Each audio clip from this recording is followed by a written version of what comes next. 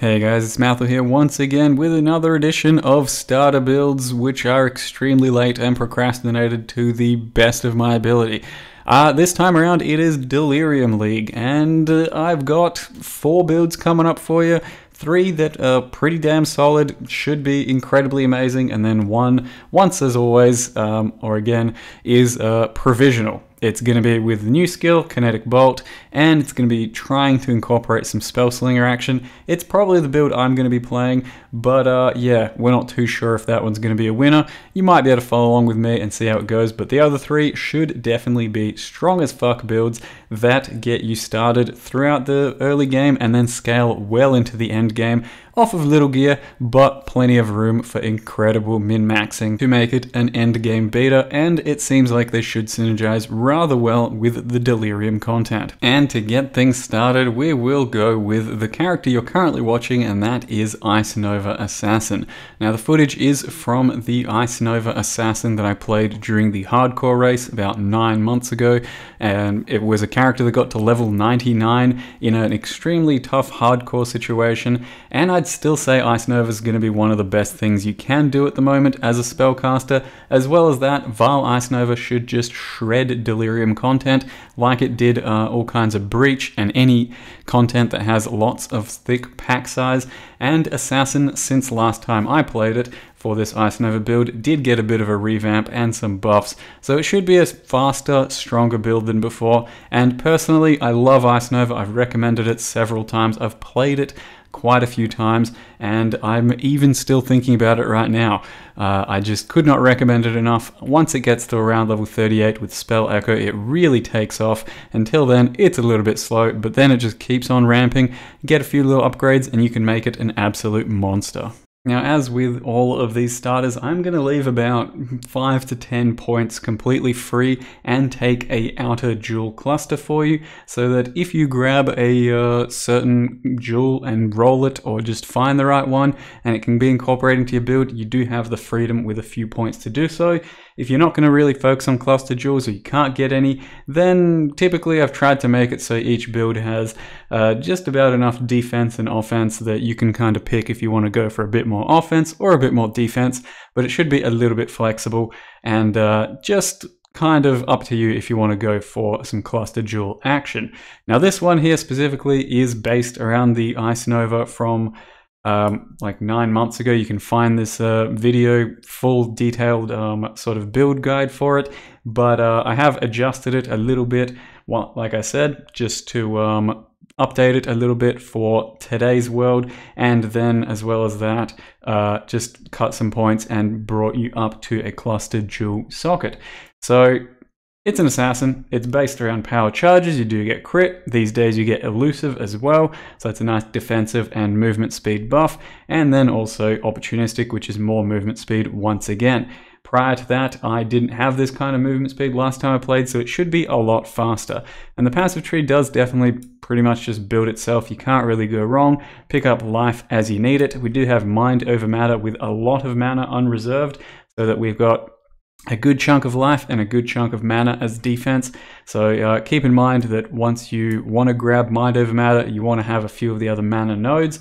And we have this time around gone for the staff sort of aspect because uh, the end game item is definitely Pledge of Hands. It's pretty much impossible to beat a Pledge of Hands for Ice Nova scaling because with Spell Echo, every single time you press Ice Nova while it's floating out onto your Frostbolts, uh, it will double. And then with greater spell echo, it will triple. And that is at no extra cast speed to you. You just press the button once and then throw out like six Ice Novas, something like that. It's absolutely crazy. But the playstyle is a little bit more complex than your average build because you throw out your Frostbolt, which you will have a Frozen Trail um, giving you a couple of extra projectiles, and then you'll point your Ice Nova over those projectiles uh, wherever you really want them. Um, so it's a two-step process and it's something I've really enjoyed and gotten the hang of. Like I said, up until about level 38, it is going to be a bit shitty, a bit slow because uh, you don't have that spell echo interaction. But once you do, uh, it really takes off and becomes quite a great build. Until then, you can use other things, maybe a Storm Brand, but I think still just Ice Nova is definitely good enough in that setup. Uh, so the end game is a pledge of hands. You can use whatever stuff until then. Just get something with good bit of crit. Doesn't really matter. I've left some uh, pretty flexible stuff for your amulet. Pandemonius is good, but it doesn't have to be your amulet. Just get some crit multi and some cast speed. Uh, and it's Ares Promise for a bit of extra damage and leech. And otherwise, you will probably be sustaining a lot of your mana through an enduring mana flask. Uh, that should keep you pretty well sustained. Um, got yourselves a six link over here. Make sure you grab a Vaal Ice Nova. That's going to be absolutely hard carrying you throughout a lot of the big pack clearing. And then uh, for single target, you chuck in Concentrate Effect, but most of the time you're playing with Area. And of course, it wouldn't be a build guide without telling you the Bandit. It's Alira. Pretty much any crit build is going to have Alira. And the only other thing I should mention is that um, your Frostbolt is kind of a utility in the end. You're there just to use it to uh, utilize your Ice Nova, so faster casting, Arcane Surge, GMP, all that sort of stuff is pretty good. But otherwise, if you really need more information, I've got like three or four full-blown Ice Nova videos for you to follow. Can easily recommend the build. It is a lot of fun. The next build on the list is a little bit hard to tell what the fuck's going on. It's double strike on a berserker using the savior sword, but of course you're not going to be really getting a savior for a starter build, but that's no problem at all. It's not a build defining item, it was just a build enhancing item. And the uh, sort of starter thing I've got for you will still have pretty much the same amount of damage in the build, just you won't have a couple of clones, and those clones only really do too much work on a single target, but this build has way more than enough single target without a savior, and I don't think it should be at all a problem that you won't be using a savior for most of the build's career, because the scaling of double strike, uh, impale, and berserker with abyssus, all of that is just super synergistic together. It doesn't really matter whether you have a savior or not. You can probably even tell throughout most of the videos of my savior character, which I do recommend checking out if you want to play this um, character through and through, that the clones aren't doing all too much. In the end though, this is the probably fastest attacking, fastest leaping, and uh, biggest single target character I've ever played. That's just purely due to all the um, double strike impale scaling, especially with Berserker. It's absolutely nuts, and it's something you got to experience yourself at some point. Doesn't have to be a Berserker though, you can definitely pick it as a champion, a slayer, um, a juggernaut, gladiator, all kinds of shit. Just about anything will make Double Strike absolutely steamroll. So I do have a edited version of the original build. Uh, the original build went all the way over to this side of the tree as well. But like I said, I want to give you the option to get some cluster jewel action happening and uh, kind of pick some uh, of your own things. For Berserker especially, there's some interesting Warcry nodes, some good double strike, um, sorry, dual wielding nodes, some good impale nodes, life nodes. There's a lot of really good nodes that you might be able to uh, sort of branch out here. And I think that's going to be one of the strengths of cluster jewels. In current times, there's a real big option as to whether or not you stay in your area or branch out to get some really powerful nodes somewhere else, go one way to the tree or the other. There's a lot of um, back and forth, and cluster jewels might just really, well, let you stay within your cluster and start um, branching out into one specific area as to uh, just fill out your own real niche of what you want. Um, once again, still got plenty of life, plenty of damage in the build. This is similar sort of damage to what you'll have with a Savior, but since you're not using a Savior, which is kind of a crappy sword, we just got a couple of basic Corsair swords, and uh, it should still give you well more than enough damage because this isn't even factoring in Impale or Vaal Double Strike or Vaal War Chief, and uh, it just scales pretty crazily. And uh, I did not include an explosion-based chest, which you get from Crusader mods, uh, because that is probably going to be a bit tough for you to get uh, early on. So it's just an Elder chest with a little bit of crit, but if you still feel the need for explosions, then run some hemophilia gloves in your glove slot, and there's plenty of opportunity for you to get more life or more damage, depending on what you feel like you need in the build. But the ascendancies we've got here are uh, going for more damage, and then the crit and um, physical damage. I then really recommend Warbringer. It's actually an incredibly underrated node that uh, gives you a lot of damage, attack speed, recovery, and with some of the new cluster notables, you can make it even stronger and do much more for you as well. You just have to get used to pressing Enduring Cry pretty much non-stop like a flask. And you only really take blitz once you've got quite a lot of crit in your build. It might take a while to ramp up to that because no blitz means you've got quite a lot of crit. Blitz means you've got a lot more attack speed, but less crit. So blitz is actually just kind of a side grade. It's uh, not too much of a damage upgrade. It's just something you take once you feel like you've gotten to a certain crit level where you're ready to dump some and get a lot more attack speed. Uh, double strike can be playable right from the start, but you do need a pretty uh, locked in four link of double strike, chance to bleed, ancestral call, and melee splash. Uh, once you get that four link going, you can get that by level 8.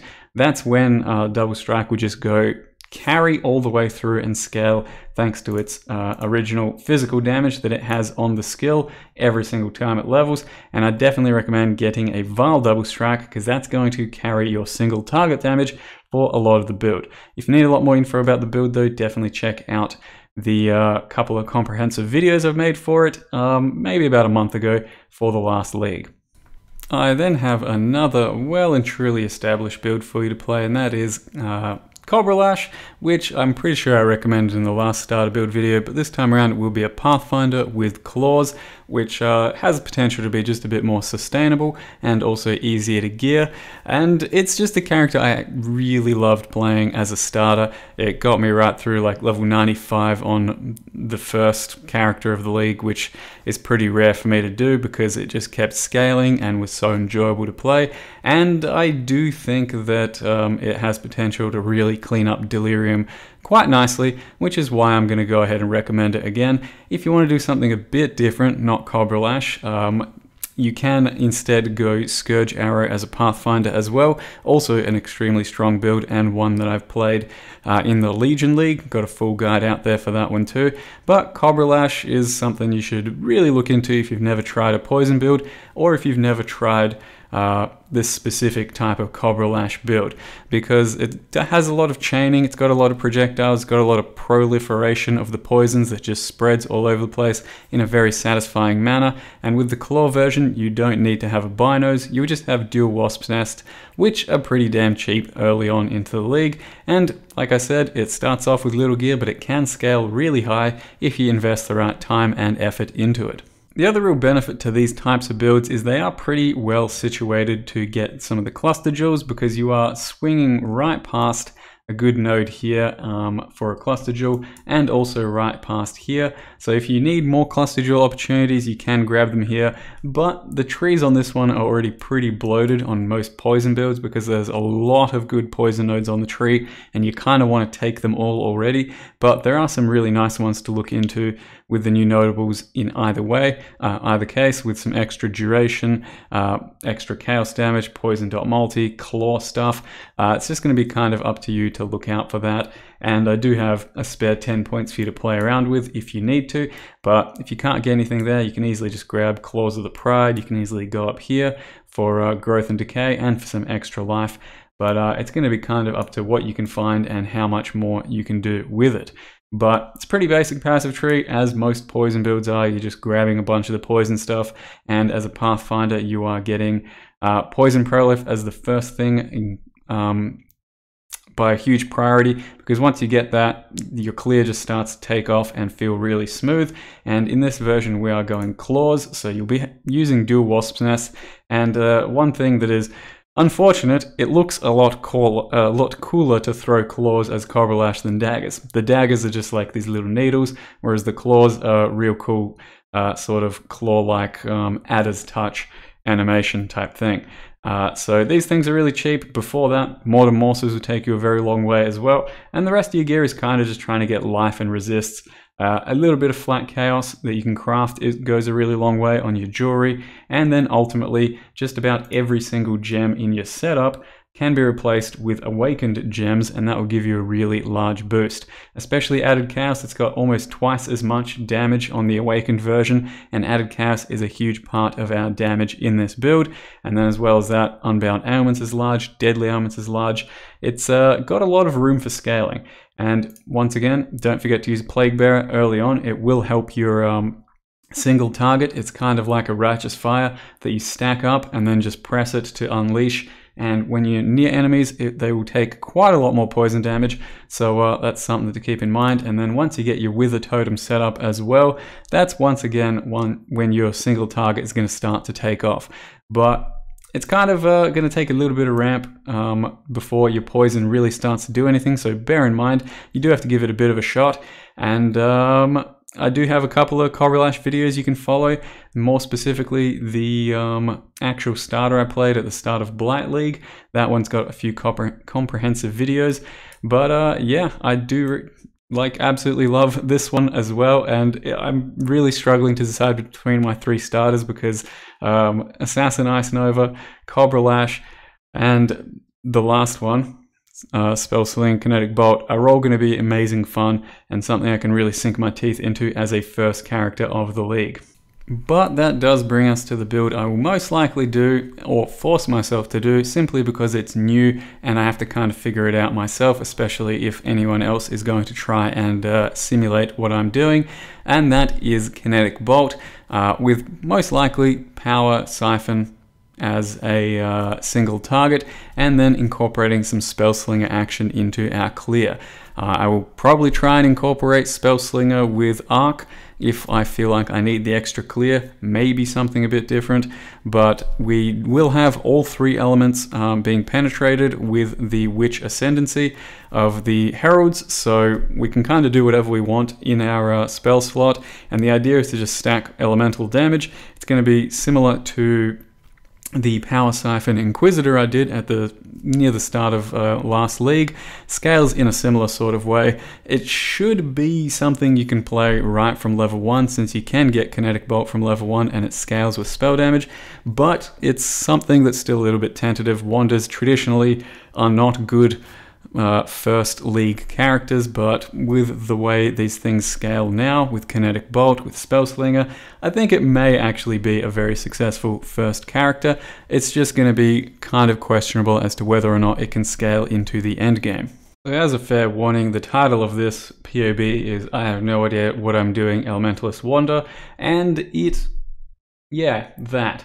I am going to be trying to do it a similar sort of way from the um, Elemental Hit Elementalist I've done in the past, which was an extremely successful build, but that did have quite a lot more gear, and it was energy shield based, whereas this time around we're not doing any scaling from elemental hit, we will have to get some stuff from gear, but a lot of it, it should still be coming from our golems uh, and our heralds.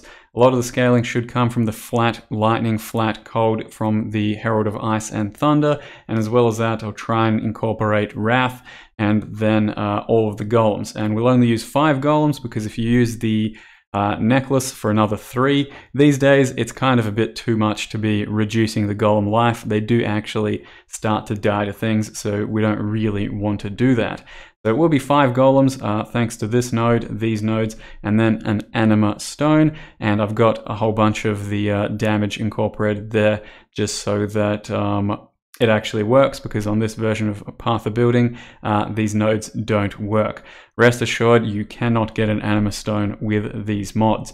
But the idea is that we'll probably start by going through the spell damage, but we'll refund it later because it's not super worth it in the end. But for early game with Kinetic Bolt, we'll take the spell damage and then uh, most likely go over to the left to start picking up some other good damage nodes and get our um, golem stuff up and ready by level 34 and I think it should just start scaling really nicely with a little bit of lightning damage uh, on the wand, a little bit of spell damage wherever you can find it and Kinetic Bolt looks like it'll clear things quite nicely all by itself. Uh, you're going to want some sort of wand that has some flat lightning, flat cold, flat fire. Doesn't really matter, but ideally I think lightning for bigger shocks, and then a shield that's going to have some spell damage. Ideally a devouring diadem in the end, but that's going to be more of a late game option I think. And we're going to be trying to do some sort of um, Eldritch Battery Mind Over Matter hybrid. So you're going to be life based, maybe about 5,000 life, about 2,000 energy shield, and quite likely I'm going to be grabbing Zealot's Oath to take care of my energy shield regen, and that's going to transfer away all of my life regen. So then I'm going to have to do some leeching with my um, uh, life portion.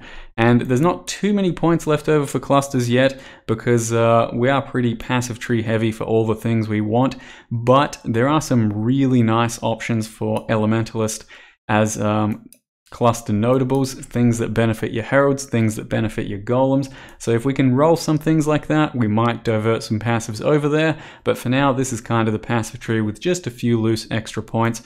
But the key things to note are we're going to want Wandslinger so that Power Siphon does similar sorts of damage to your uh, kinetic bolt. We're going to want an extra golem. We want these nodes over here to give us extra damage and the golem's extra regen. And everything else is kind of whatever. Uh, it's just a bunch of damage and stuff like that. And you're going to want to really try and get your ice golem, your fire golem, and your lightning golem um, up quite early and all the time because that's where a lot of your damage is going to come from and a lot of your crit. Uh, other than that, there's not too much else to mention, I don't think. Mantra of Flames would be really nice to get early on as well, because by like level 40, we'll have damn near 10 buffs on us, and that gives you like a really high level anger's worth of damage, which is pretty damn thick.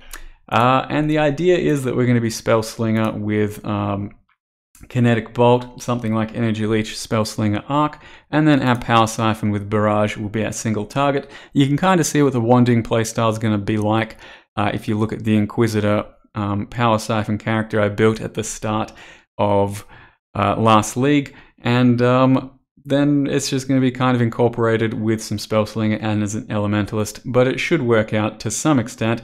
Maybe we'll run out of gear, maybe we'll run out of time. Don't know. I'm kind of looking forward to playing with it because it just looks really cool. So Hope this was good enough for a little bit of a starter video for you guys. Um, if you choose any of the others, it's going to be amazing. If you choose this, who knows? Maybe it'll suck balls. I sure hope not. It looks like it'll be fun. But thank you very much for watching. I'll see you in the morning with the actual league launch. I'll be on about an hour before the actual start, and I will have, as always, a bit of a cosplay. I'm going to say it's questionable. I'm going to say this may be my most scuffed attempt yet. I'm scared. I'm nervous. Thank you very much for watching. I'll see you guys next time.